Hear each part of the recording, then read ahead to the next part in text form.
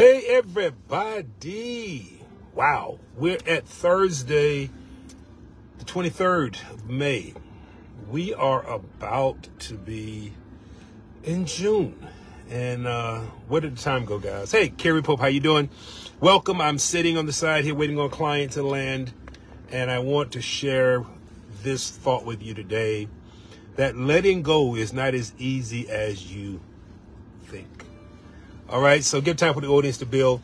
Hope you're doing well. Thank you so much for supporting uh, what we're doing here. Thank you for your prayers. Super excited about teaching on the thoughts and thinking. And today I'm going to shed some light on um, why we struggle to let go of things, why we struggle to move on in life, why we struggle with thinking. And when I share this with you guys, it's scary. It's really scary. Um, when I began to do my studies, and you know, I've been studying on the mind for years, and I told you God has called me to minister to the minds of men and to focus on how we think. And as the Word of God says, "As a man thinketh, so is he." But what does that really mean? As a man thinketh, so is he. It's just cut. It's just black and white. As a man thinketh, comma, so is he. So, as I began studying years ago, and I remember this in one of my classes on thought, um, we average 60,000 thoughts a day. Studies have shown that we average 60,000, 60,000, 60,000 thoughts a day. Studies show that we average 6.5 thoughts per minute. 6.5 thoughts per minute, averaging 60,000 thoughts a day, of which 90% of what we think is repetitive. And, you ready for this? 75% of what we think is negative. So let's ponder that. Let's ponder that thought. If I'm thinking 70, uh, uh, uh if, I'm, if, I'm, if I'm thinking 60,000 thoughts per day, of which 80% or 90% are uh, repetitive and 75% is negative, then we can truly understand why letting go is not easy. Letting it go, releasing it, saying I'm done with it. Because we're always pondering on the very thought of should I let it go? Did I give it all I had? Did I did I did they, did they treat me fairly in this job? Did I get the best out of this? We're always pondering and repeating it over and over. 6.5 thoughts per minute. I want you to really just phantom these numbers real quick. Because what's happening is we're not able to let go of something because it's repetitive. Habits are formed through repetitive thinking. Okay? So if I'm averaging 60,000 thoughts a day, of which 90% of those thoughts are repetitive and 75% of the repetitive thoughts are negative, then you can understand why it's hard to break habits, why it's hard to let go of things, why it's hard to move forward. And watch this, and why you got to do the work to think properly. If we are what we think, as a man thinketh, so is he. And my thoughts are 60,000 thoughts of 75% negativity, then no wonder our lives are jacked up. No wonder we're struggling to lose weight because we look in the mirror and say, I'm fat. We look in the mirror and say, I'm ugly. We look at our situation and say, I'll be uh, single my entire life. And you start repetitively thinking this. And as a man thinketh, he begins to create his very demise. Do you not know that we have a tendency through generational curse of thinking We've been we, some of our generational curse is our thought process, how we uh, have been taught to think. Yeah, you can quote scriptures all day long, but thank you, thank you, Patricia. But the facts are this: seventy-five percent of what you think is negative, which means twenty-five percent of what you think is to the positive. So, which one do you think is winning?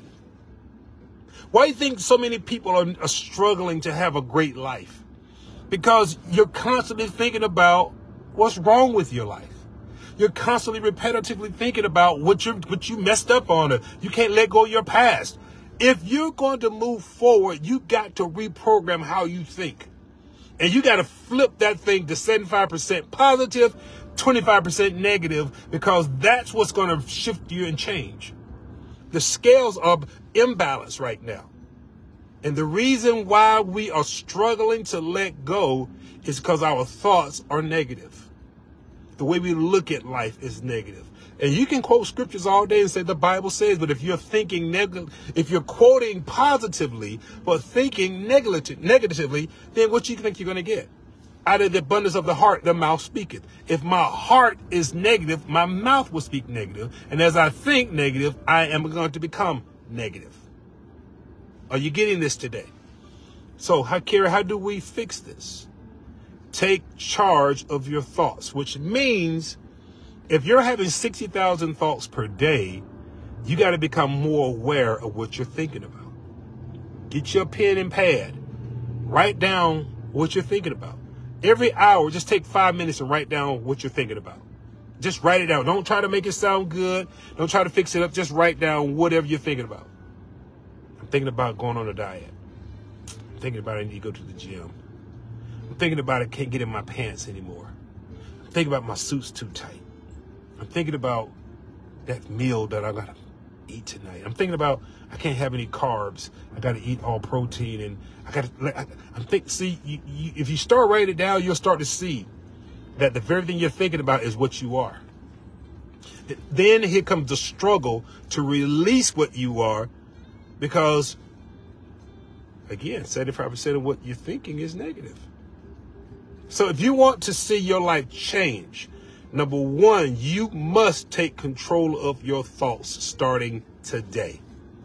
No longer have an idle mind. We've always heard an idle mind is the devil's workshop. An idle mind means you're letting your thoughts run freely and you're not bringing them under subjection. The Bible says, cast out every vain imagination that, that exalts itself against the knowledge the knowledge of God. God's knowledge is this as a man thinketh, so is he. So I got to cast down vain imaginations, and the imaginations are formed in my thinking, and my thinking, if it goes unchecked, is going to be 75% negative. Are you getting this? So again, we can know scripture, we can quote scripture, we can say the Bible says all day long, but applying the principle comes with thinking and properly dividing the word that you're able to apply the word with positive thoughts. Just saying something doesn't make it happen. And watch this. You can go to the gym. You can push back your plate. You can do all these things to lose weight. But if your mind is still focused on, I'm not going to be skinny. I'm never going to be a size eight. Then you, guess what? As a man thinketh, so is he. You'll never be a size eight. You will always be what you are. Struggling to get to it.